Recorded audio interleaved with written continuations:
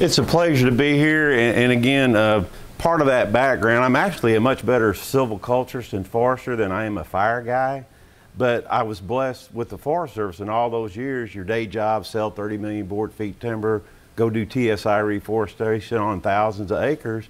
But when it's time to get yelled up and go drop the match, buddy, it was all hands on deck. So I got to experience a lot of prescribed fire. I had a lot of really good mentors. Uh, was always and, and so what I want to do is talk about strategies from one practitioner to the other.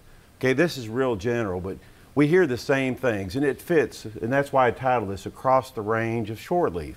Don't get hung up, oh, he's in Alabama and he burns in Georgia. Hey, this fits right out the door. You can be in Arkansas, East Texas, the whole range. These strategies, my friendly advice from one practitioner to the other or a line officer that maybe isn't a fire uh, person, these strategies will help you extend because the, the first thing that comes out of the gate, you ask people, well, you got these barriers, and they're real, I get it, and they fit the whole country. You got air quality regulations. We got to give Caesar what Caesar's. I get that. But you know what? I'm going to show you ways that you can work within the bounds. And it sounds risky, but it's actually very shrewd. You're minimizing your risk of a screw up or what I call a uh oh.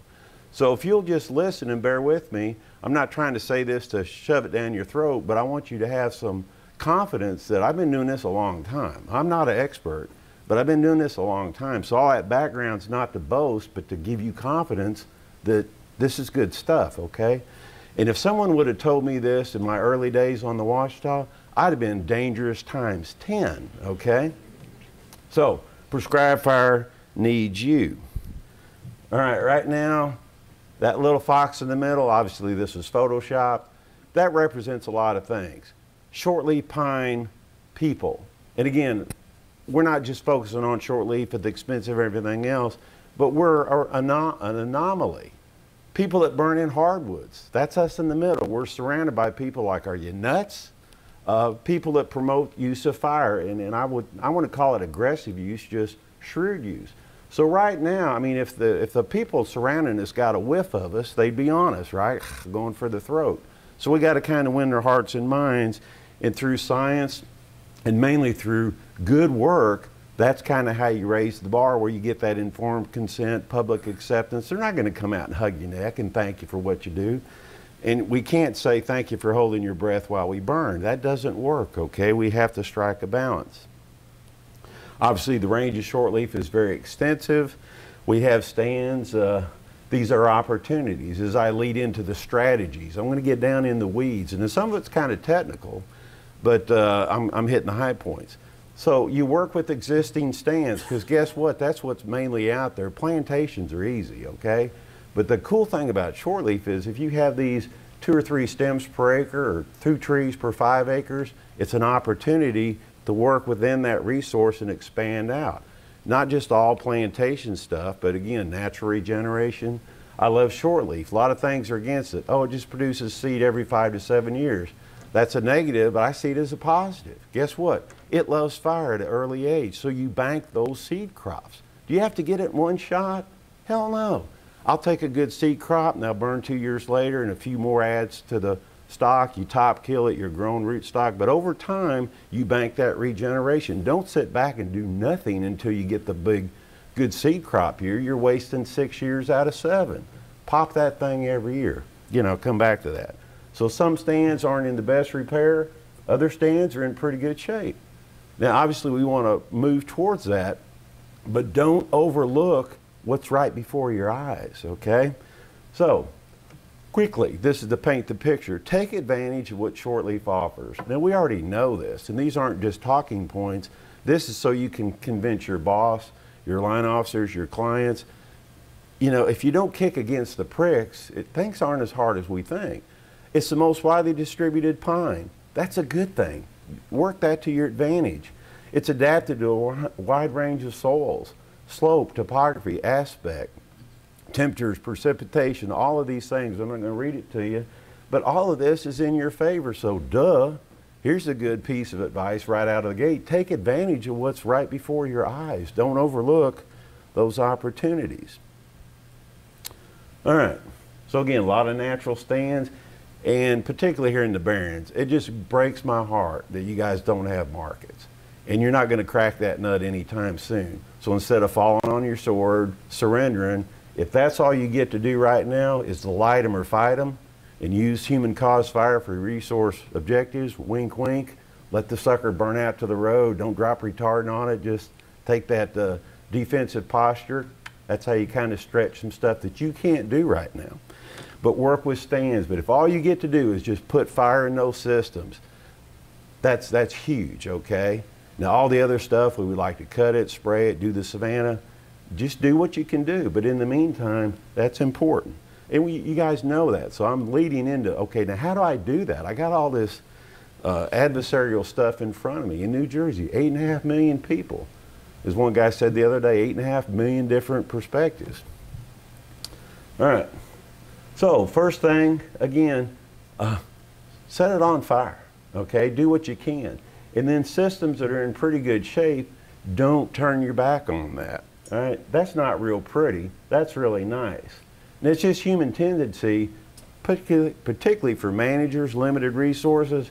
We need to do more of that. It's like, whoa, before you go breaking new ground, if you got any of that, you better be burning that first. And if you don't, shame on you.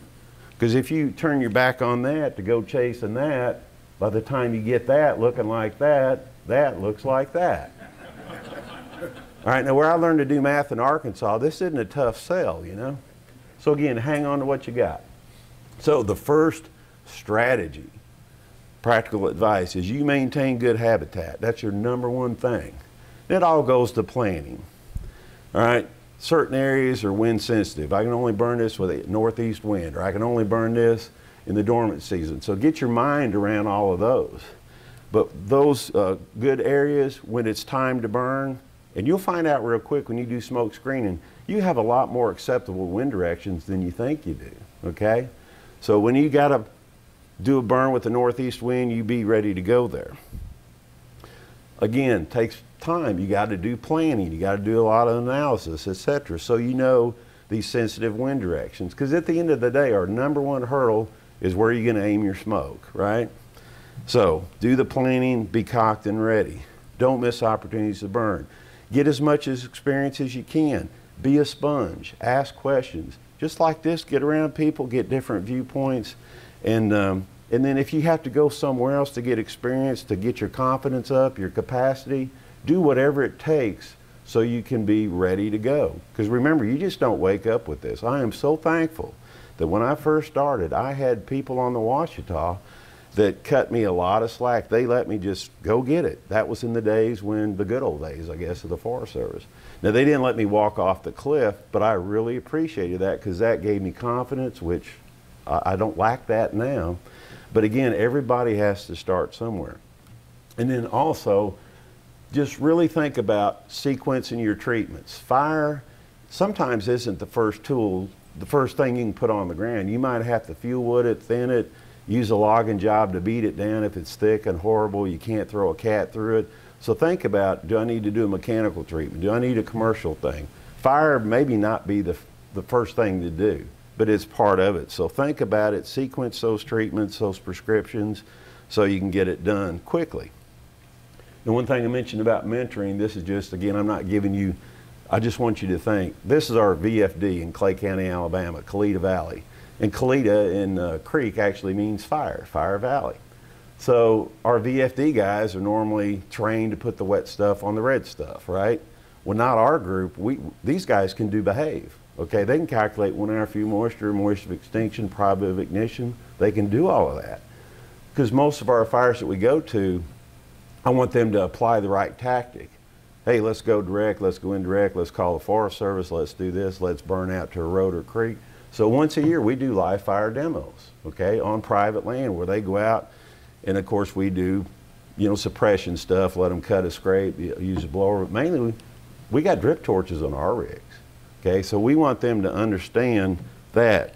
And that's part of mentoring, okay? A lot of these guys, not just for fire departments, but everybody needs some stick time. So take any opportunity to mentor, because somebody mentored me, and I really, really appreciated that. It's time to pass that on. So again, get on as many opportunities as you can, engage landowners. This guy, uh, that was a 14 year old stand, never had been burned, loblolly plantation.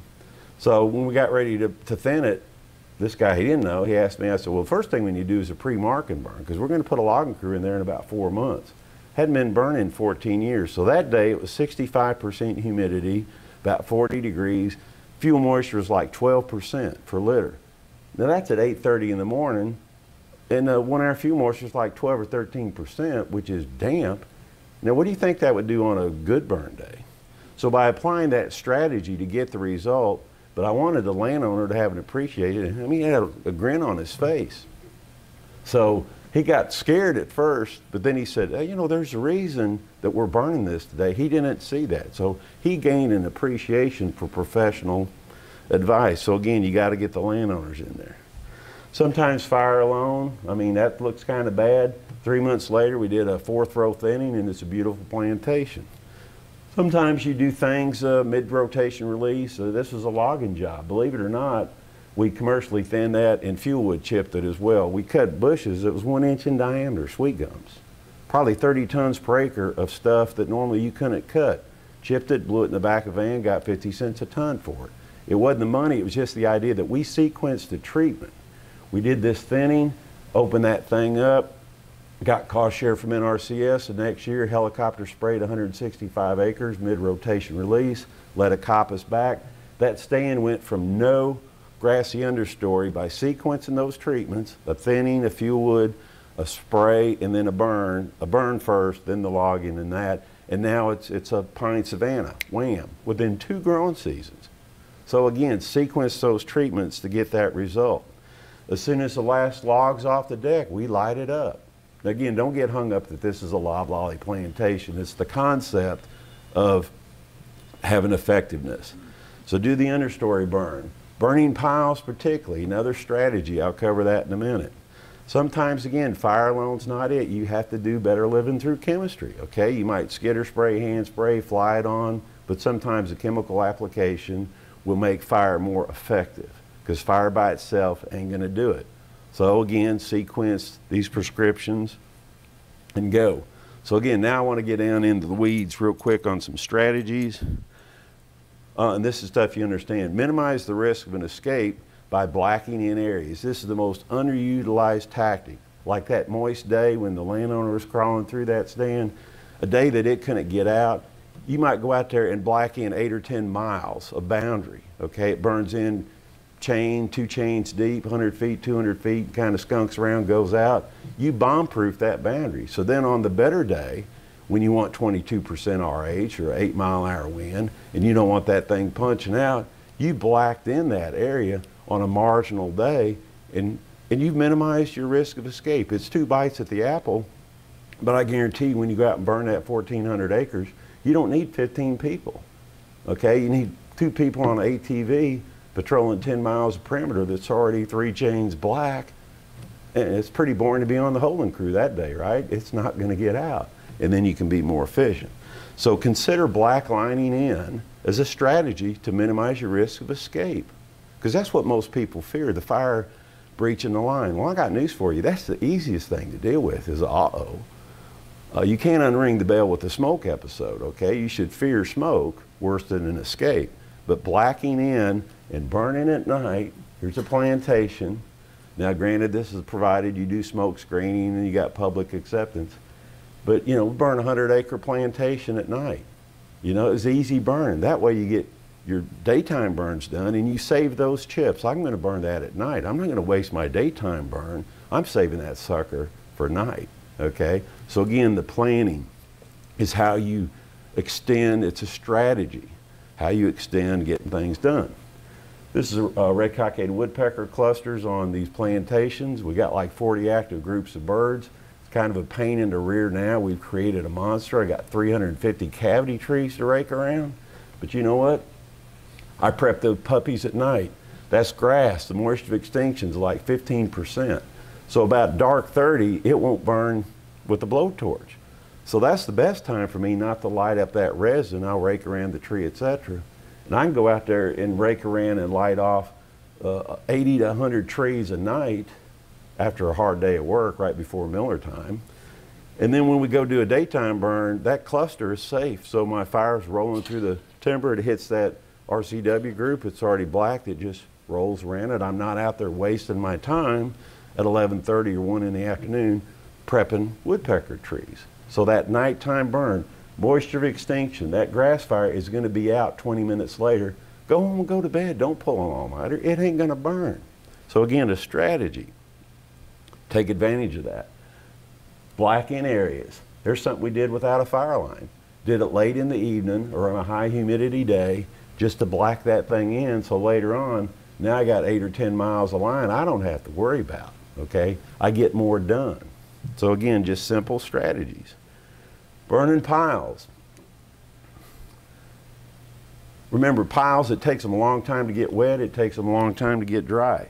So when you burn a pile, you don't want to have a lot of smoke, right? So how do you dial up less smoke? The highest intensity fire you can generate, which means you got to let that pile get really, really, really dry.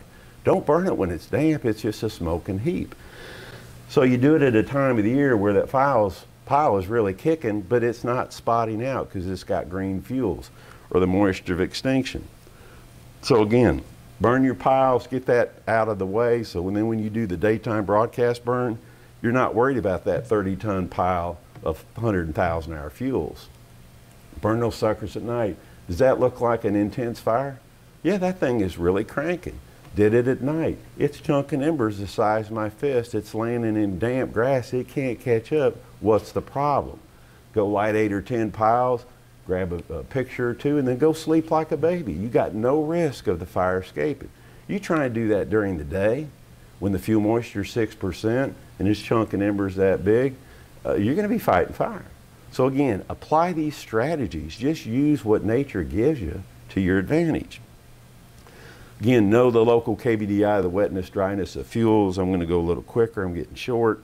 And again, this presentation is available. Just remember these strategies are simple things that you can do to stay within bounds and extend your, your burn days. Because you got to be really careful. Remember, smoke's the bugaboo. So if you uh, got organic soils or you got deep duff or infrequently burned systems, if you don't know what KBDI is, you better figure it out because you will you can't unring the bell. You light off that duff and you're like, uh-oh, because it's going to smoke today, tonight, tomorrow, tomorrow night, the next day, the next night, until you get a rain event. So you can see that train coming. Don't do that. Know these uh, uh, points when you need to, to stop. So again, here's, uh, again, it's longleaf pine. I know it's not shortleaf, but it's the concept of when you're doing a growing season burn, typically it's like really, really hot. And you better understand what the KBDI is because that was a good burn. But if you had uh, deep organic soils or organic soils or deep litter, uh, you got a good burn, but you could excite and light off those, those uh, fuels you don't want to burn, and then you got a problem. All right. Remember, consider and use all tactics with smoke management dilution, avoidance, minimization, remember, avoidance doesn't mean don't burn. Avoidance means avoid a wind direction that's going to put something on an SSA. If you got a retirement home of trial lawyers downwind, that's probably not a good idea to vector your smoke towards those guys, okay? So again, this is just common stuff, but use those tactics, and that's how you avoid stepping on your poncho. But you know, most of us don't do that, or the, even the fire people they, they get so locked in on the certain way of doing it and they're missing opportunities. All right, and again, consider the entire year. Often that's a missed opportunity. I guarantee you, if you could do 15 to 25% of your program, whether it's 100 acres a year or 10,000 acres a year, if you can get some of that out before Christmas, that's good. Early dormant season or during the growing season. If you get that much out, guess what? It gave you more days when the weather's good and meteorological conditions are best for smoke dispersal, January, February, March, to get more done. So overplan and be ready to under implement, but get it shelf ready, project ready, and go. And try and get out of that rut that, oh, we never burned before, we got to wait till deer season's over. Well, maybe, sort of, kind of, but think that through, talk that through. Again, the KBDI, you have to get with your local folks. But if you know these cutoff points, for example, uh, if you're doing a dormant season burn, you probably want to stop when the KBDI gets over 300. Because normally in the dormant season, it's going to be well under single digits to less than 100. And a high, uh, a KBDI 80 doesn't mean it won't burn. All those surface fuels will burn good. But in the dormant season, it gets over 300. That's not normal. That's way drier than normal. And if you get one going and you ignite those 10 hour fuels, 100 hour fuels, get the duff going, now you got to do heavy mop up. So know these thresholds so you just don't screw up, okay? So again, you're after the effect, all sorts of tactics. And again, particularly with short leaf, everybody's trained, oh, you can't put fire in a loblolly plantation, slash or short leaf until the trees get 10 years old. Eh. You know, shortleaf particularly, you can put fire in the stand. Now, I got a few uh, people that will go this way, most will go, you're nuts. You can burn after age two or three. It's never too early to start putting fire in shortleaf. But that's what you do. You back into it. Use BEHAVE, use the science to say, look, I can take anything less than a two foot flame length with a three chain rate of spread or whatever. You know, you pick your metric and then use the science to guess what? To calculate one hour fuel moisture. And it can't do that. Does that uh, less than a foot flame length look like a something scary? No. So you know what? Why couldn't you put fire like that in a stand that's this tall, age four from seed or whatever? And remember, shortleaf, if you top kill a tree or two, you just pissed it off. It's going to sprout. It's coming back with 10 of its buddies. It's not a problem, okay? So remember, put fire in stands as early as you can. Burn them at night. Burn them on the high, one hour, a few moisture days. Make that thing do what you want to do. So my last slide. It's not how much you burn, it's how safe you burn. Now, once you get a lot of land in good shape, then you can burn a lot more because it's grass, it's light fuels, you're burning you know, three tons per acre instead of 12, it gets easier, okay? So you can do more, but right out of the gate, don't worry about how much. Just do it safely, build that confidence, that capacity, start over the hill where you can't screw up if you try, nobody can see it, don't excite the public. And then remember, prescribed fire is a safe way, this is the old talking point, it's a safe way to apply natural process, to your ecosystem health, reduce fire risk. When you're talking to the public that doesn't get it, those four points, you say it's safe, it's natural, um, and it's ecological, and you reduce fire risk. Most people can get their mind around that. So to me, that's the best definition of prescribed fire. And then in closing, if you're not a member of a state prescribed fire council, shame on you. Fix that starting tomorrow. Uh, seek them out. And then lastly, it's not hard to be wise. Think of something stupid don't do it. Okay, here's Grandpa going direct. little yard fire got out. He's in the fuel model one, and Grandpa's going direct attack. He doesn't realize just south of the old equator, he's sitting on two gallons of gas in a plastic tank. Okay, but at least he's blowing it back into the black. Okay, so I'll give him credit for that. Now, if you don't do apply basic things in fire, and we do this all the time, not that it's not hard to be wise. Think of something stupid, don't do it. The KBDI is above normal. Uh, let, us go burn. Well, that's stupid. You're gonna cause a smoke episode. So think of something, but that's where you plan. Hey, when the KBDI is really high, it's dry, guess what? Go burn a pile because you want really aggressive fire behavior, but you have to pick a day or a night to where you're not going to light up the woods. So don't just fear a high KBDI number. That's a good time to go do a pile or do something else. But think this through. Don't do something stupid, okay? So even though this is comical, we see people doing this in fire every day, uh, people that know better. And you're out there like, dude, what are you doing? The dispersion index is like really low or your smoke's not lifting or, or this or that. And what do they do? They got the blinders. Got to get it done, got to get it done. It's not how much you burn, it's how safe you burn. You get it done safely, you'll get the public's confidence, you'll get your confidence up, you'll mentor your people, then over time, then you can, you know, rock and roll. So again, thank you for letting me come and share with you, probably telling you stuff you know. My biggest challenge is use the science, encourage your people, don't do something stupid, and just embrace these barriers. Air quality, yep, no problem. But there's ways around that good smoke management, etc. It's, it's just right there for your using. So with the theme of short leaf, These are all things in your favor that despite all of the barriers, you got a lot of opportunity. Glass is half full, it ain't half empty. So I'll be here till after lunch or whatever. I appreciated meeting most of you the last couple of days or two. And Mike, again, I was just honored to be asked to come speak. And now, what you don't do when you leave today, going north, going south, going west, or go east to the water's edge, you should be all jacked up and excited and start, you know, lighting it up on your way out. No, I'm teasing. Don't do that.